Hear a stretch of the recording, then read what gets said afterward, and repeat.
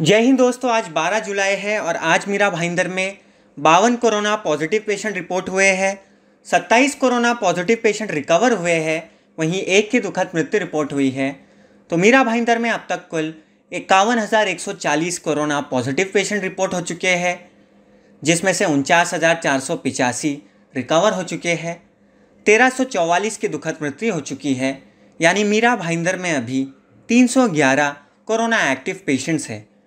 आज जो बावन कोरोना पॉजिटिव पेशेंट रिपोर्ट हुए हैं, उसमें से तैंतीस मीरा रोड के हैं, ग्यारह भाईंदर ईस्ट और आठ भाईंदर वेस्ट। मैं आप लोगों को स्वैप की जानकारी दे देता हूँ। मीरा भाईंदर के नागरिकों के अब तक कुल पाँच लाख बाईस हज़ार नौ सौ तेरह स्वैप टेस्टिंग के लिए भेजे गए हैं। इक्यावन हज़ार एक सौ चालीस की रिपोर्ट पॉजिटिव आई है। चार लाख सत्तर हज़ार नौ सौ तैंतीस की रिपोर्ट नेगेटिव आई है। आठ सौ इक्कीस की रिपोर्ट आना बाकी है और उन्नीस की रिपोर्ट इनकन्क्लूसिव है। तो दोस्तों, ये थी आज की कोविड नाइन्टीन रिपोर्ट की जानकारी। आप सब अपना ख्याल रखें, सभी को दुआओं में याद रखें। Thank you so much